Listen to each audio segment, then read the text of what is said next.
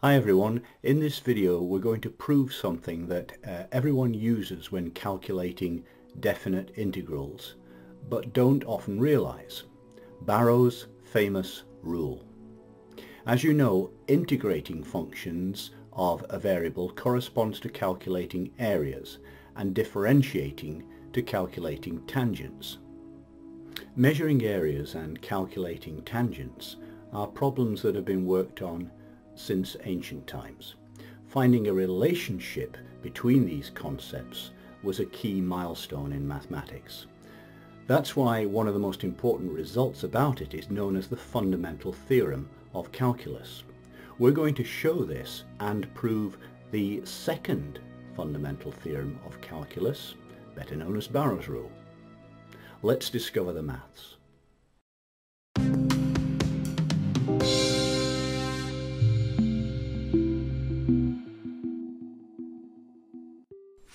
Barrow's rule says that if f is a continuous function defined on a closed interval ab and capital F is a primitive of small f, then the integral between a and b of f of x is capital F of b minus capital F of a. We're not going to go into detail about the concepts of integrals, uh, partitions of intervals, uh, lower sums and higher sums and so forth. Just bear in mind that since f is a continuous function defined on a closed interval, f is integrable and therefore assuming that f is a positive function, the integral between a and b of f of x is the area bounded by the graph of f, the x-axis, and the vertical lines x equals a and x equals b. In the case where f is not necessarily positive, for that integral, we'd add the areas of the parts above the x-axis and take away the areas of the parts below the x-axis. So we'll start with our proof. First consider an x belonging to the closed interval ab. We know that f is continuous in the interval ax because it's continuous in the entire interval ab. So, as we've indicated, f is integrable in the interval ax.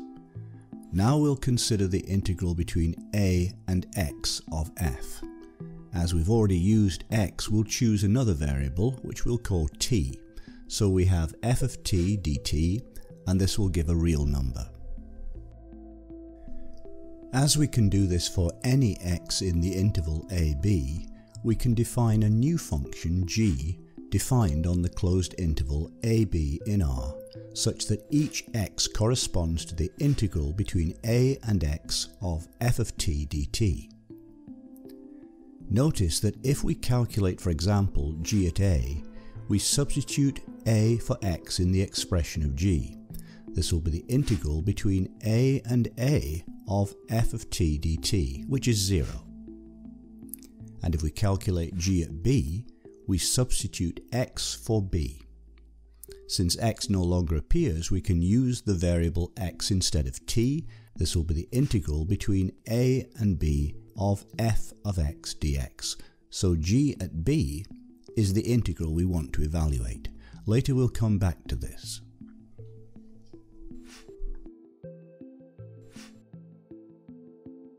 Next step is to calculate the derivative of g to see that g is also a primitive of f. Suppose x is a value in the open interval ab. Let's compute g prime of x. By the definition of a derivative, this is the limit as h tends to 0 of g of x plus h minus g of x divided by h. And we're going to calculate the numerator of this fraction. We'll take a value of h greater than 0, which can be as small as we like because afterwards we'll make h tend to 0. Now consider g of x plus h minus g of x. For g of x plus h we substitute x plus h for x in g. This is the integral between a and x plus h of f of t dt, and then we have minus g of x. We'll copy the expression for g, which is the integral between a and x of f of t dt. Now, x is a value that's between a and x plus h, so the interval a x plus h can be expressed as a union of the intervals ax and x x plus h. Notice that in the first integral, the integration interval is a x plus h. Here we have a decomposition of this. So the first integral is expressed as the sum of two integrals, the integral between a and x plus the integral between x and x plus h. Now take away the integral between a and x of f of t dt. These two elements cancel and we're left with the integral between x and x plus h of f of t dt. Next, we substitute the value of g of x plus h minus g of x in the calculation of the derivative. The derivative is the limit as h tends to 0 of the integral between x and x plus h of f of t dt over h. And now we're going to work with this integral in the numerator. Since we have the integral between x and x plus h of f, we consider f restricted to this interval, that is, f defined in the closed interval x, x plus h in R. We know f is a continuous function and is defined in a closed interval. Applying the extreme values theorem, we have that f is bounded and also that it has absolute minima and absolute maxima.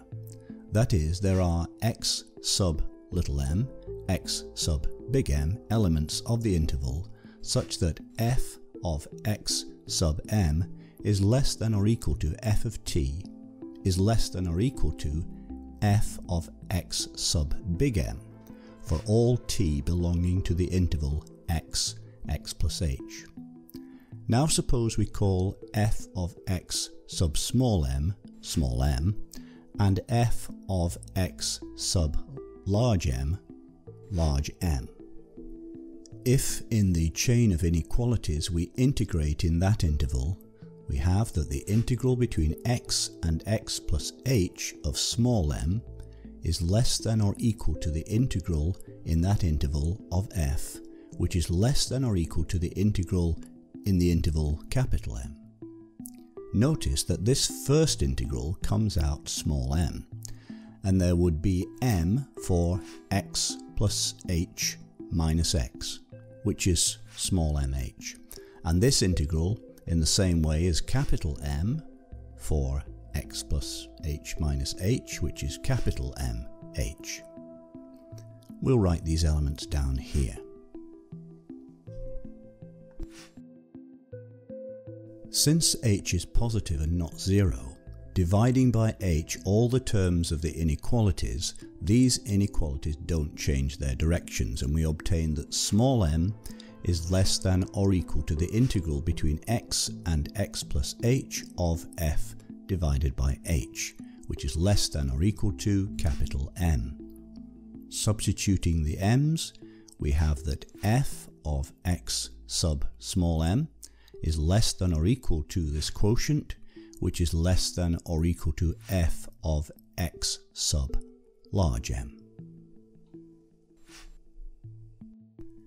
f is a continuous function defined in the closed interval x, x plus h, and we have that this quotient is between the minimum and maximum values that f reaches in this interval. So, applying the intermediate values theorem, there'll be a c sub h belonging to this interval such that f of c sub h will be equal to the integral between x and x plus h of f of t dt divided by h. Substituting this above, we have the limit when h tends to 0, and notice that this is the quotient that we've calculated.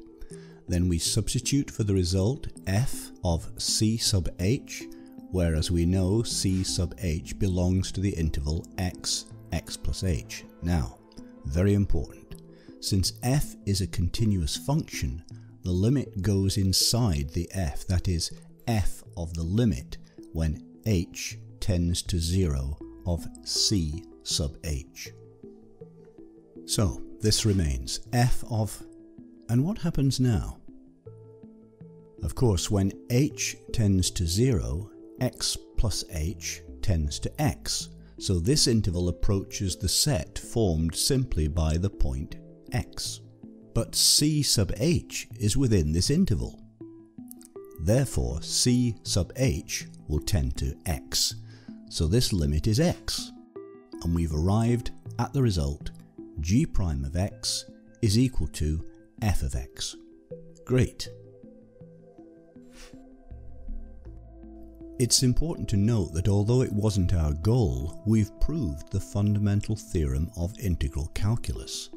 G is this integral and its derivative is f, the integrand.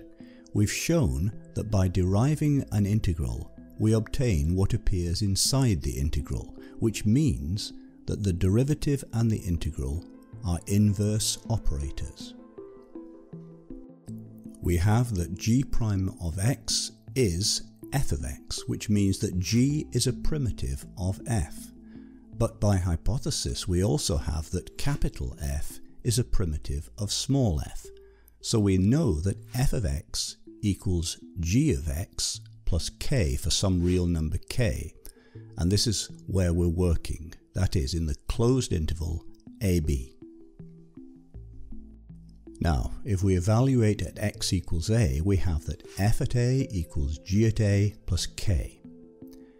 But as we indicated before, g at a by the definition of g is the integral between a and a of f, which is 0. Then g at a, which is 0, plus k is just k. Therefore, k equals f at a, from which f of x equals g of x plus k which is f at a. The only thing left is to evaluate this expression at x equals b. We have that f at b equals g at b plus f at a. From this, f at b minus f at a equals g at b, which by the definition of g is the integral between a and b of f. Reading from right to left, we obtain that the integral between a and b, the variable x will not appear, then we can change the variable t for x, of f of x dx. This is capital F at b minus capital F at a, as we wanted to demonstrate. Fantastic.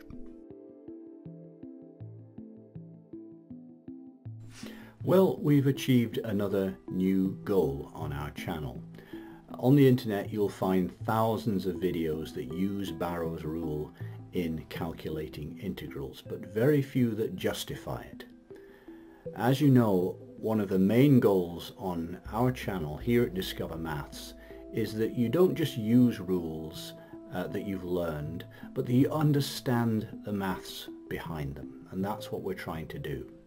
Anyway, I hope you found this useful. Please subscribe to us if you haven't already, and I'll see you again very soon to discover more maths.